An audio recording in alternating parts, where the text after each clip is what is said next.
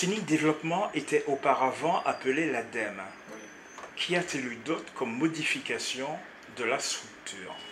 Bien, alors, comme, vous l'avez souligné, Martinique Développement se prénommait l'ADEME. le sigle, c'était l'Agence pour le développement économique. Ce sigle ressemblait à l'ADEME.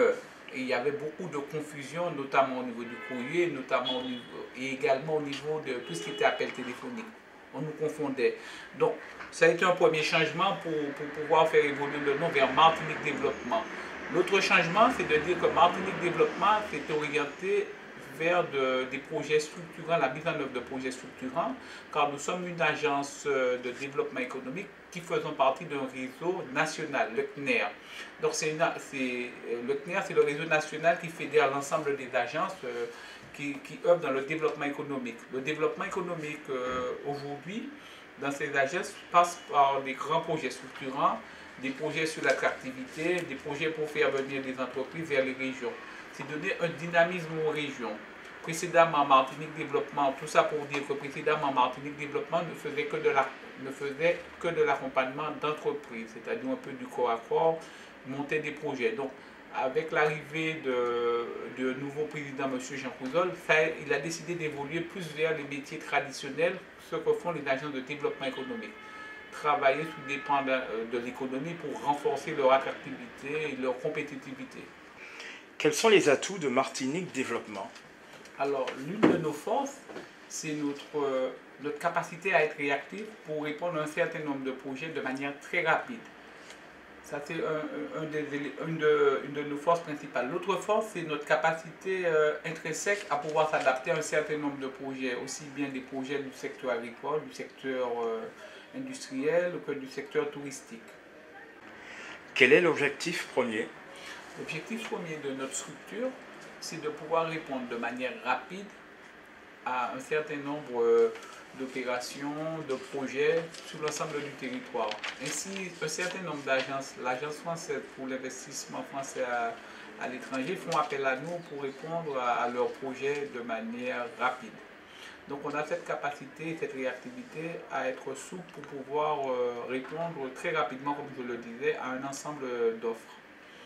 C'est un, des, premiers objectifs. Un deuxième objectif qui est très important, c'est notre capacité à pouvoir s'adapter à un ensemble de projets aussi divers que variés. Pourriez-vous me citer quelques projets que vous avez mis en place? Bien sûr. Alors aujourd'hui, si je vous parle du Blue Mountain, vous connaissez la Jamaïque et vous dites que c'est un café qui a une certaine connaissance de le monde. Mais savez-vous qu'en Martinique, on a un café dont le Blue Mountain est un des descendants qui est meilleur, qui a été reconnu dans le monde entier? Cette marque de café, Fabrique Martinique, imprègne encore le monde des caféiculteurs et des torréfacteurs. Le café qu'on a en Martinique aujourd'hui, on peut dire que si on le remet en valeur, comme on le souhaite, sera le café le plus cher du monde. Premièrement, ce sera un café de par ses, ses qualités intrinsèques qui sera très bon. Et d'autre part, il y a un aspect de légende. Il faut savoir qu'à travers ce café de légende qu'on va mettre en place, un certain nombre de structures et de firmes multinationales s'intéressent à cette, à cette production de café. Nous, on veut mettre ce café de légende à travers un process de qualité pour qu'il soit le meilleur du monde, pour redonner à la Martinique à travers ce café ses lettres de noblesse. En plus, ce n'est pas que mettre en place euh, euh, la production de café, ça va permettre de relancer toute une zone. C'est-à-dire, on envisage de mettre à travers ce projet, c'est un projet global, la relance de toute l'activité du, du Nord Caraïbe, l'endroit où le café sera replanté. Une entreprise domiciliée dans l'Hexagone ou ailleurs qui voudrait investir en Martinique pourrait-elle faire appel à vous? Bien sûr. Alors, un de nos rôles premiers, c'est de favoriser l'attractivité de l'entreprise. Alors, je vous donne un exemple complet concret, pardon, c'est-à-dire il y a une multinationale qui s'appelle IPPER. Elle s'est installée pour la fabrique de carton. Nous, nous sommes en contact régulier avec cette entreprise pour lui favoriser tous les secteurs et lui présenter la mise en place euh, d'une infrastructure à la Martinique. Aujourd'hui, on est, on est relativement avancé et aujourd'hui, nous sommes en pourparler pour valoriser avec bien sûr les IPPER, pour valoriser l'achat d'un terrain pour permettre de lancer une usine de production à travers cette usine de production, on a comme ambition de relancer l'activité et la création d'emplois directs. 45, entre 45 et 40 emplois directs sur, euh, sur la zone nord-atlantique. Quel est votre budget annuel? On a un budget autour de 800 000 euros. Ce budget prend essentiellement en compte le fonctionnement pour un effectif de 13 personnes. Donc cet effectif de 13 personnes euh, peut aller jusqu'à 17 personnes avec des emplois qui vont répondre à des, besoins ponctuels.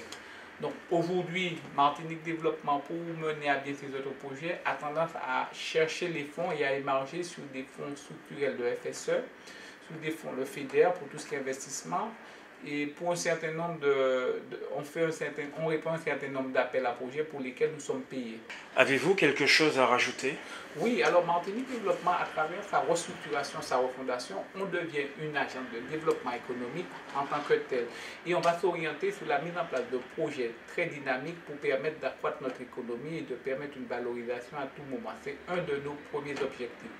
Bien sûr, notre partenaire privilégié, puisque c'est notre financeur, c'est la région. Donc, on travaille euh, de concert avec l'ensemble des acteurs de l'économie, y compris euh, les acteurs extérieurs.